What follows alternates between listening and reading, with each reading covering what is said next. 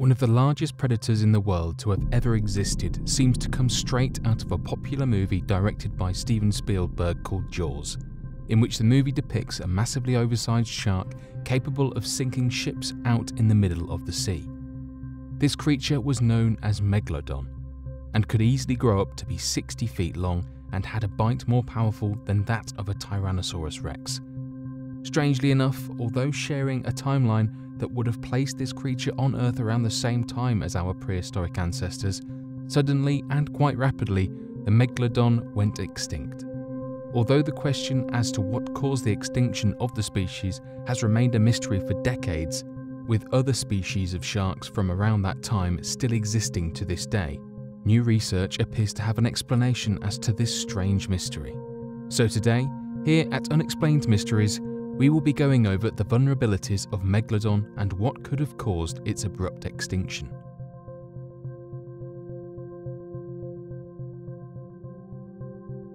Bigger is not always better.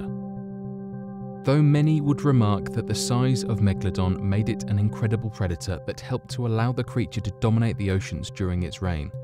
the truth is that the creature's large stature actually proved to be more of a hindrance in nature than an actual benefit. In order to support its massive body weight and muscle growth, the body of the megalodon had a tremendous metabolism that only caused the creature to require massive amounts of food and resources constantly available in its environment in order to not starve to death. This calorie requirement would have forced the megalodon to eat more than 2,500 pounds of meat a day just to survive, making it next to impossible to not starve if the creature found itself in an area void of a large abundance of natural prey given the fact that the diet of the massive shark was made up mostly of turtles and seals, the megalodon would have been forced to be in a constant state of predation just to meet its daily calorie requirements, even going so far as possibly eating its own young in times of stress and engaging in risky behaviours just to locate a possible food source that would most likely deplete in a short matter of time. Given the fact that the megalodon often travelled over vast distances this led to high probabilities of winding up in new areas that did not contain an adequate food source and ultimately left the entire species incredibly vulnerable. These problems are only made worse when one takes into consideration how an environment can easily be changed in its resource availability by season, which would often mean that the megalodon would be forced to travel greater distances or be highly susceptible to starvation if any dramatic changes in climate occurred. A high competition for resources. Given the creature's massive size and its constant need for an adequate amount of calories just to survive, this led the creature to ultimately become a species that suffered from a high rate of competition with both neighbouring species and its own kind. Though many times in the animal kingdom, having a much larger physique allows certain evolutionary advantages when it comes to the realm of competition, other times it can lead to a much higher resource scarcity for the species in question.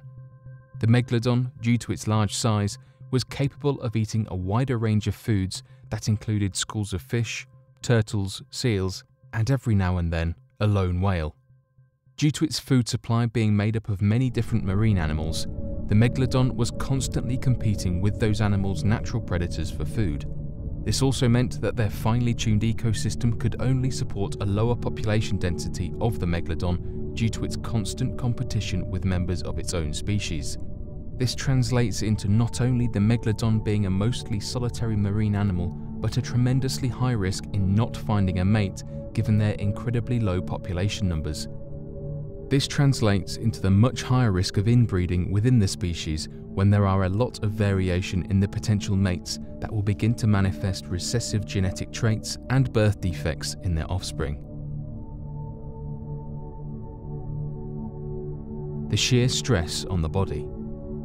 The reason as to why not many predators have ever again reached the size of the megalodon, including different species of sharks that were around during the reign of the creature, has less to do with genetics and more to do with physics.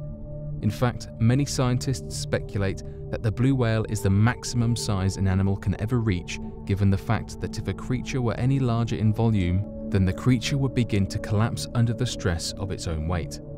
The only reason why marine animals can get so much larger than land animals is due to the natural buoyancy the water provides to reduce stress on the creature.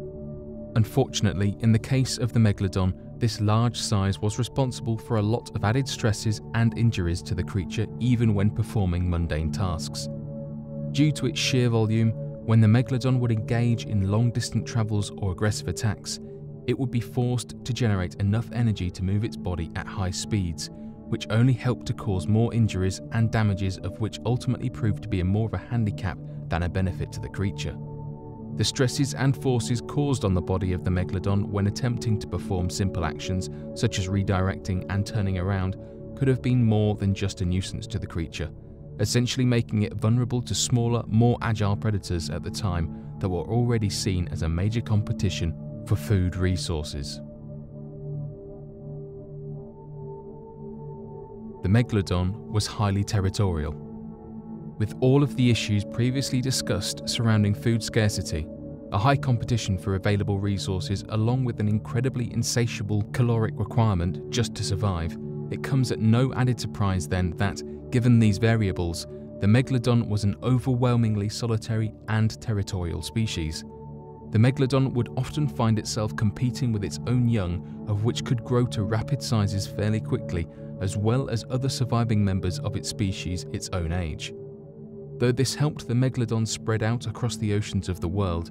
it also meant that the creature would more commonly find himself isolated from other members of his species and dangerously aggressive with those of his own species if he came into contact with them. Similar to how sharks of the modern day will begin to eat their own young as well as other smaller sharks in times of stress, this was a common tactic employed by the megalodon, especially during times of food scarcity and territorial claims. Though this is not an uncommon trait for many species in the animal kingdom, for the megalodon this only helped to make their species far more incredibly vulnerable to catastrophic events and placed it at an even higher risk for extinction during its time. The dramatic change in climate. As many people are well aware of, climate change has seen dramatic ups and downs all throughout the history of our planet. This includes several instances of heating events and cooling events spread out over millions of years that are responsible for a wide variety of extinction level events seen in the variation of life on this planet. During the reign of the Megalodon, the Earth saw just as many instances of climate change that drastically affected marine life. One of the main changes in the climate that potentially caused the extinction of the species was the cooling trend that started back in the Oligocene era. This trend led to far more glaciation seen at the poles of the planet, lower temperatures in the ocean, as well as geological events that changed currents and altered precipitation in many areas around the world. This change in climate would have forced the megalodon to move to warmer waters to be able to sustain its massive size and caloric requirements warmer waters that would have continued shrinking over many generations as the trend reached a peak. It was around this time that the megalodon seemed to have vanished from the fossil record, which helps to support the evidence between the correlation of its extinction and the change in the climate. Lack of genetic variation. A researcher by the name of Catalina Pimiento has dedicated a lot of their time in the attempts to crack the code as to what could have caused the megalodon's extinction and believes that they may have found the answer by looking at the size of the teeth of the species throughout time. After recording and comparing about 400 different specimens of the megalodon held at many different museums from around the world, Catalina Pimiento was able to accurately measure their final body size and mass at around the time the species went extinct. She found that not only did the biggest and smallest of the megalodon have roughly the same size with little variation, but that there appeared to be far more megalodon of a much larger size shortly before they became extinct. Although it is not known as to what could have directly caused this change, it still remains a key piece of evidence as to the theories of the cause of the megalodon's extinction. Unfortunately for the megalodon, evolution does not promote monoculture, and the only way to guarantee the safety of a species and its chances at survival is to promote genetic variation and adaptations throughout its species. Given the lack of genetic variation of the species, this could very well mean that disease or rapid changes in the environment were the main cause of extinction. Similarly seen in the case of the Gros Michel banana species that was completely eradicated by a single fungal plague, when a species contains little to no variation in its genetics, it becomes incredibly susceptible to specific diseases and the damage they can cause on their species.